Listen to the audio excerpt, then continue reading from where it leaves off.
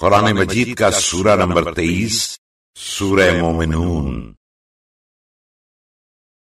खुदा के नाम से शुरू करता हूँ जो बड़ा मेहरबान निहायत रहम वाला है अलबत्ता वो ईमान लाने वाले रुस्तगार हुए जो अपनी नमाजों में खुदा के सामने गिड़गिड़ाते हैं और जो बेहुदा बातों से मुँह फेरे रहते हैं और जो जक़ात अदा किया करते हैं और जो अपनी शर्मगाहों को हराम से बचाते हैं मगर अपनी बीवियों से या अपनी जर खरीद लौनियों से कि उन पर हरगिज इल्ज़ाम नहीं हो सकता। बस जो शख्स इसके सिवा किसी और तरीके से शहवत परस्ती की तमन्ना करे तो ऐसे ही लोग हद से बढ़ जाने वाले हैं। और जो अपनी अमानतों और अपने अहद का लिहाज रखते हैं और जो अपनी नमाजों की पाबंदी किया करते हैं। आदम की औलाद में यही लोग सच्चे वारिस हैं जो बहिश्त बरी का हिस्सा लेंगे और यही लोग उसमें हमेशा ज़िंदा रहेंगे। और हमने आदमी को गीली मिट्टी के जौहर से पैदा किया। फिर हमने उसको एक महफूज जगह औरत के रहम में नुतफा बनाकर रखा।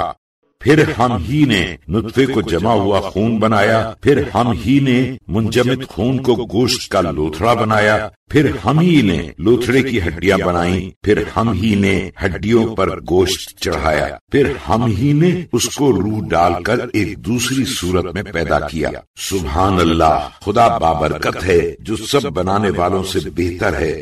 फिर उसके बाद यकीनन तुम सब लोगों को एक न एक दिन मरना है। उसके बाद कयामत के दिन तुम सब के सब कब्रों से उठाए जाओगे। और हम ही ने तुम्हारे ऊपर तय बतय आसमान बनाए और हम मखलूकत से बेखबर नहीं हैं। और हम ही ने आसमान से एक अंदाजे के साथ पानी बरसाया। फिर उसको ज़मीन में हसब मसलहत ठहराए रखा। और हम तो यकीनन उसके गायब कर देने पर भी काबू रखते हैं। फिर हमने उस पानी से तुम्हारे वास्ते खजूरों और अंगूरों के बागात बनाए कि उनमें तुम्हारे वास्ते तरह तरह के बोतेरे मेवे पैदा होते हैं। उनमें से बास को तुम लोग खाते हो। और हम ही ने जैतून का दरख्त पैदा किया, जो तूर सीना पहाड़ में कसरत से पैदा होता है, जिससे तेल भी निकलता है और खाने वालों के लिए सालन भी है। और इसमें शक नहीं कि तुम्हारे वास्ते चौपायों में भी इबरत की जगह है। और खाक, बला, जो कुछ उनके पेट में है, उससे हम तुमको दूध पिलाते हैं। और जानवरों में तो तुम्हारे और भी बहुत से फ़ायदे हैं। और उन्हीं में से बाज को तुम खाते हो, और उन्हीं जानवरों और कश्तियों पर चढ़े चढ़े फिरते भी हो। और हमने नूह को उनकी कौम के पास पैगंबर बनाकर भेजा और नूह ने उनसे कहा ए मेरी कौम खुदा ही की इबादत करो और उसके सिवा कोई तुम्हारा मबूद नहीं। तो क्या तुम उससे डरते नहीं हो? तो उनकी कौम के सरदारों ने जो काफिर थे कहा ये भी तो बस आखिर तुम्हारा ही सा आदमी है। मगर इसकी तमन्ना ये है कि तुम पर बुजुर्गी हासिल करे। और अगर खुदा पैगंबर ही भेजना चाहता तो फरिश्तों को नाजिल करता। हमने तो भाई ऐसी बात अपने अगले बाप दादाओं में भी होती नहीं सुनी। हो न हो, बस ये एक आदमी है जिसे जुनून हो गया है। गरज, तुम लोग एक खास वक्त तक उसके अंजाम का इंतज़ार देखो। नूह ने ये बातें सुनकर दुआ की, ऐ मेरे पालने वाले, मेरी मदद कर। इस वजह से कि इन लोगों ने मुझे झुटला दिया। तो हमने नूह के पास वही भेजी कि तुम हमारे सामने हमारे हुक्म के मुताबिक कश्ती बनाना शुरू करो। फिर जब हमारा अजाब आ जाए और तनूर से पानी उबलने लगे तो तुम उसमें हर किस्म के जानवरों से नर और मादा दो दो के जोड़े और अपने लड़के वालों को बिठा लो, मगर उनमें से जिसकी निस्बत गर्क होने का पहले से हमारा हुक्म हो चुका है, उन्हें छोड़ दो। और जिन लोगों ने हमारे हुक्म से सरकशी की है, उनके बारे में मुझसे कहना, सुनना नहीं। ये लोग यकीनन डूबने वाले हैं। गरज जब तुम अपने हमराहियों के साथ कश्ती पर दुरुस्त बैठो तो कहो तमाम हमद सना का सजावार खुदा ही है जिसने हमको जालिम लोगों से निजात दी। और दुआ करो ए मेरे पालने वाले तू मुझको दरख्त और पानी की बाबरकत जगह में उतारना। और तू तो सब उतारने वालों से बेहतर है इसमें शक नहीं कि इसमें हमारी कुदरत की बहुत सी निशानियाँ हैं और हमको तो बस उनका इम्तिहान लेना मंजूर था। फिर हमने उनके बाद एक और कौम, समूद को पैदा किया और हमने उन्हीं में से एक आदमी, स्वाले को रसूल बनाकर उन लोगों में भेजा और उन्होंने अपनी कौम से कहा कि खुदा की इबादत करो और उसके सिवा कोई तुम्हारा माबूद नहीं तो क्या तुम उससे डरते नहीं हो? और उनकी कौम के चंद सरदारों ने, जो काफिर थे और रोज आखिरत की हाजिरी को भी जुटलाते थे और दुनिया की चंद रोजा ज़िंदगी में हमने उन्हें सरबत भी दे रखी थी, आपस में कहने लगे, अरे, ये तो बस तुम्हारा सा आदमी है, जो चीज़ें तुम खाते हो, वही ये भी खाता है, और जो चीज़ें तुम पीते हो, उन्हीं में से ये भी पीता है। और अगर कहीं तुम लोगों ने अपने ही से आदमी की इतात कर ली तो तुम घाटे में रहोगे। क्या ये शख्स तुमसे वादे करता है कि जब तुम मर जाओगे और मरकर सिर्फ़ मट्टी और हड्डियाँ बनकर रह जाओगे तो तुम दोबारा ज़िंदा करके कब्रों से निकाले जाओगे? है है। अरे, जिसका तुमसे वादा किया जाता है बिल्कुल अक्ल से दूर और कयास से बईद है। दोबारा ज़िंदा होना कैसा? बस यही दुनिया की ज़िंदगी है कि हम मरते भी हैं और जीते भी हैं और हम तो फिर दोबारा उठाए नहीं जाएँगे। हो न हो, यह सवाले वो शख्स है जिसने खुदा पर झूठ मूठ बोहतान बांधा है और हम तो कभी उस पर ईमान लाने वाले नहीं। ये हालत देखकर सवाले ने दुआ की कि ए मेरे पालने वाले, चूँकि इन लोगों ने मुझे झुटला दिया, तू मेरी मदद कर। खुदा ने फरमाया, एक जरा ठहर जाओ अन करीब ही ये लोग नादिम पशेमान हो जाएँगे। गरज उन्हें यकीनन, एक सख्त चिघाड़ ने ले डाला तो हमने उन्हें कूड़े करकट का ढेर बना छोड़ा, बस जालिमों पर खुदा की लानत है। फिर हमने उनके बाद दूसरी कौमों को पैदा किया। कोई उम्मत अपने वक्त मुकर्र से न आगे बढ़ सकती है, न उससे पीछे हट सकती है। फिर हमने लगातार बहुत से पैगंबर भेजे, मगर जब किसी उम्मत का पैगंबर उनके पास आता तो ये लोग उसको झुटलाते थे। तो हम भी आगे पीछे एक को दूसरे के बाद हलाक करते गए और हमने उन्हें नीस तो नाबूद करके अफसाना बना दिया। तो ईमान न लाने वालों पर खुदा की लानत है। फिर हमने मूसा और उनके भाई हारून को अपनी निशानियों और वाज रोशन दलील के साथ फिरौन और उसके दरबार के उमरा के पास रसूल बनाकर भेजा। तो उन लोगों ने शेखी की और वो थे ही बड़े सरकश लोग। आपस में कहने लगे, क्या हम अपने ही ऐसे दो आदमियों पर ईमान ले आए? हालाँकि इन दोनों की कौम की कौम हमारी खिदमतगारी करती है। गरज इन लोगों ने उन दोनों को झुटलाया आखिर ये सब के सब हलाक कर डाले गए। और हमने मूसा को किताब, तौरेत इसलिए अता की थी कि ये लोग हिदायत पाएँ। और हमने मरियम के बेटे ईसा और उनकी माँ को अपनी कुदरत की निशानी बनाया था। और इन दोनों को हमने एक ऊँची हमवार ठहरने के काबिल चश्मे वाली ज़मीन पर रहने की जगह दी। और मेरा हुक्म आम था कि ए पैगम्बरो पाक पाकिजा चीज़ें खाओ और अच्छे अच्छे काम करो, क्योंकि तुम जो कुछ भी करते हो, मैं उससे बखूबी वाकिफ हूँ। लोगो, ये दीन इस्लाम तुम सबका मज़हब एक ही मज़हब है, और मैं तुम लोगों का परवरदिगार हूँ तो बस मुझ ही से डरते रहो।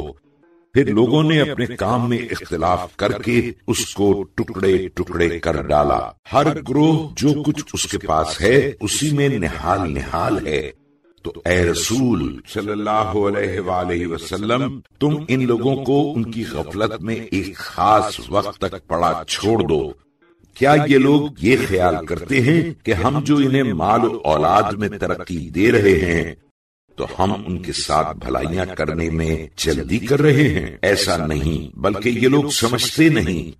इसमें शक नहीं कि जो लोग अपने परवरदिगार की दहशत से लरस रहे हैं और जो लोग अपने परवरदिगार की कुदरत की निशानियों पर ईमान रखते हैं और जो लोग अपने परवरदिगार का किसी को शरीक नहीं बनाते और जो लोग खुदा की राह में जो कुछ बन पड़ता है देते हैं और फिर उनके दिल को इस बात का खटका लगा हुआ है कि उन्हें अपने परवरदिगार के सामने लौट कर जाना है। देखिए क्या होता है।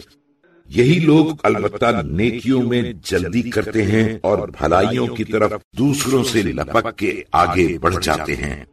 और हम तो किसी शख्स को उसकी कुवत से बढ़ के तकलीफ़ देते ही नहीं। और हमारे पास तो लोगों के अमाल की किताब है, जो बिल्कुल ठीक हाल बताती है, और इन लोगों की जर्रा बराबर हक तलफी नहीं की जाएगी, बल्कि इनके दिल उसकी तरफ़ से गफलत में पड़े हैं। और इसके अलावा इनके बहुत से अमाल हैं, जिन्हें ये बराबर किया करते हैं, और ये बाज नहीं आते।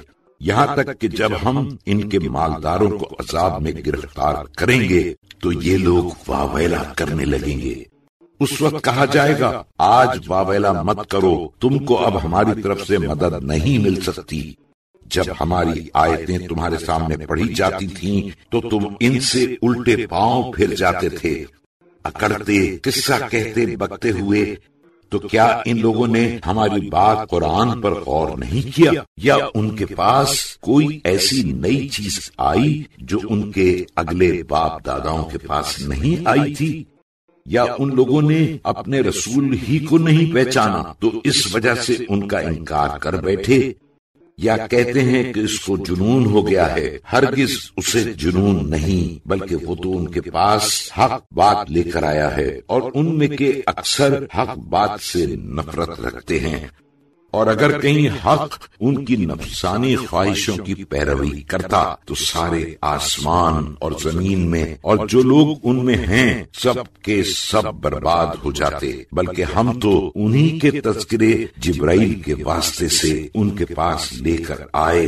तो ये लोग अपने ही तस्करों से मुँह मोड़ते हैं।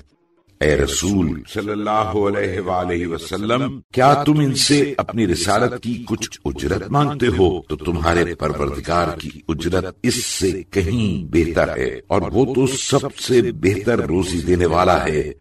और तुम तो यकीनन उनको सीधी राह की तरफ़ बुलाते हो, और इसमें शक नहीं कि जो लोग आखिरत पर ईमान नहीं रखते हैं, वो सीधी राह से हटे हुए हैं। और अगर हम उन पर तरस खाएँ और जो तकलीफें उनको कुफर की वजह से पहुँच रही हैं, उनको दफ़ा कर दें तो यकीनन ये लोग और भी अपनी सरकशी पर अड़ जाएँ और भटकते फिरें। और हमने उनको अजाब में गिरफ़्तार किया तो भी ये लोग न तो अपने परवरदिगार के सामने झुके और न गिड़ गिड़ाए यहाँ तक कि जब हमने उनके सामने एक सख्त अजाब का दरवाज़ा खोल दिया तो उस वक्त फ़ौरन ये लोग बेआस होकर बैठ रहे। हालाँकि वही वो मेहरबान खुदा है जिसने तुम्हारे लिए कान और आँखें और दिल पैदा किए, मगर तुम लोग हो ही बहुत कम शुक्र करने वाले। और वही वो खुदा है जिसने तुमको रुए ज़मीन में हर तरफ़ फैला दिया, और फिर एक दिन सब के सब उसी के सामने इकट्ठे किए जाओगे। और वही वो खुदा है जो जिलाता और मारता है और रात दिन का फेर बदल भी उसी के इख्तियार में है। तो क्या तुम इतना भी नहीं समझते? इन बातों को समझते खाक नहीं, बल्कि जो अगले लोग कहते आए, वैसी ही बात ये भी कहने लगे।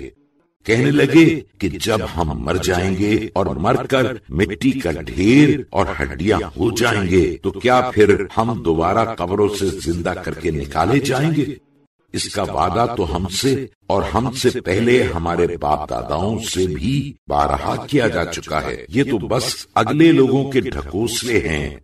ए रसूल सल्लल्लाहु अलैहि वसल्लम, तुम कह दो कि भला अगर तुम लोग कुछ जानते हो तो बताओ ये ज़मीन और जो लोग इसमें हैं, किसके हैं? वो फ़ौरन जवाब देंगे कि खुदा के। तुम कह दो तो क्या तुम अब भी गौर न करोगे?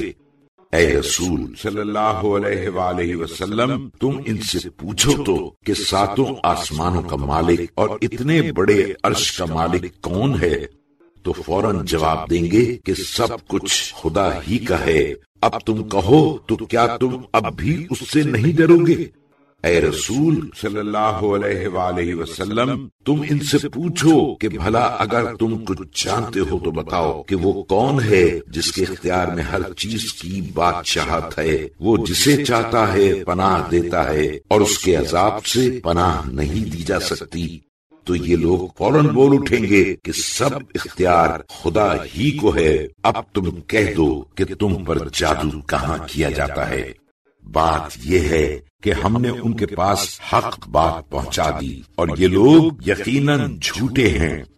न तो अल्लाह ने किसी को अपना बेटा बनाया है और न उसके साथ कोई और खुदा है। अगर ऐसा होता तो उस वक्त हर खुदा अपनी अपनी मखलूक को लिए लिए फिरता और यकीनन एक दूसरे पर चढ़ाई करता और खूब जंग होती। तो जो जो बातें ये लोग खुदा की नस्बत बयान करते हैं, उससे खुदा पाक पाकिजा है। वो पोशीदा और हाजिर सबसे खूब वाकिफ है। गरज वो उनके शिरक से बिल्कुल पाक और बाला तर है। ए रसूल, तुम दुआ करो कि ए मेरे पालने वाले, जिस अजाब का तूने वादा किया है, अगर शायद तू मुझे दिखाए तो परवरदिगारा, मुझे इन जालिम लोगों के हमराह न करना। और ए रसूल सल्लल्लाहु वसल्लम, हम यकीनन इस पर कादिर हैं कि जिस अजाब का हम उनसे वादा करते हैं, तुम्हें दिखा दें। और बुरी बात के जवाब में ऐसी बात कहो जो निहायत अच्छी हो, जो कुछ ये लोग तुम्हारी नस्बत बयान करते हैं, उससे हम खूब वाकिफ हैं। और ये भी दुआ करो कि, ऐ मेरे पालने वाले, मैं शैतान के वसवसों से तेरी पनाह माँगता हूँ। और ऐ मेरे परवरदिगार, इससे भी तेरी पनाह माँगता हूँ कि शयातीन मेरे पास आए और कुफार तो मानेंगे नहीं। यहाँ तक कि जब इनमें से किसी को मौत आई तो कहने लगे, परवरदिगारा, तू मुझे एक बार उस मकाम दुनिया में, जिसे मैं छोड़ आया हूँ, फिर वापस कर दे। ताकि मैं अब की दफ़ा अच्छे अच्छे काम करूँ। जवाब दिया जाएगा, हरगिज नहीं, ये एक लघु बात है, जिसे वो बक रहा है और उनके मरने के बाद आलम बरसख है। जहाँ उस दिन तक के दोबारा कब्रों से उठाए जाएँगे, रहना होगा। फिर जिस वक्त सूर फूका जाएगा तो उस दिन न लोगों में कराबतदारियाँ रहेंगी और न एक दूसरे की बात पूछेंगे। फिर जिनकी नेकियों के पल्ले भारी होंगे तो यही लोग कामयाब होंगे। और जिनकी नेकियों के पल्ले हल्के होंगे तो यही लोग हैं जिन्होंने अपना नुकसान किया हमेशा जहन्नुम में रहेंगे। और उनकी ये हालत होगी कि जहन्नुम में आग उनके मुँह को झुलस देगी और वो लोग मुँह बनाए होंगे। उस वक्त हम पूछेंगे क्या तुम्हारे सामने मेरी आयतें न पढ़ी गई थीं? ज़रूर पढ़ी गई थीं, तो तुम उन्हें छुटलाया करते थे। वो जवाब देंगे कि ए हमारे परवरदिगार हमको हमारी कमबख्ती ने आ दबाया और हम गुमराह लोग थे। परवरदिगारा हमको अब की दफ़ा किसी तरह इस जहन्नुम से निकाल दे। फिर अगर दोबारा हम ऐसा करें तो अलबत्ता हम कसूरवार हैं। खुदा फरमाएगा, दूर हो, इसी में तुमको रहना होगा, और बस मुझसे बात न करो। मेरे बंदों में से एक ग्रोह ऐसा भी था जो बराबर ये दुआ करता था कि ए हमारे पालने वाले, हम ईमान लाए तो तू हमको बख्श दे, और हम पर रहम कर, और तू तमाम रहम करने वालों से बेहतर है। तो तुम लोगों ने उन्हें मस्खरा बना लिया। यहाँ तक के गोया उन लोगों ने तुमसे मेरी याद भुला दी और तुम उनसे बराबर हँसते रहे।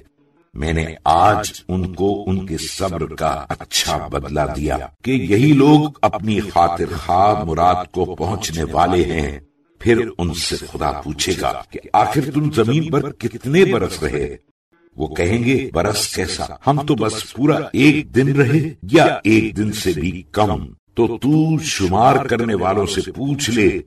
खुदा फरमाएगा, बेशक तुम ज़मीन में बहुत ही कम ठहरे। काश तुम इतनी बात भी दुनिया में समझे होते।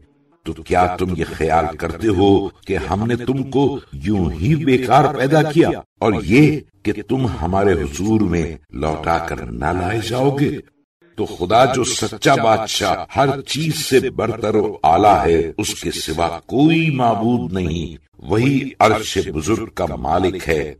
और जो शख्स खुदा के साथ दूसरे मबूद की परस्तिश करेगा, उसके पास इस शिर की कोई दलील तो है नहीं तो बस उसका हिसाब किताब उसके परवरदिगार ही के पास होगा। मगर याद रहे कि कुफार हर गिस फला पाने वाले नहीं।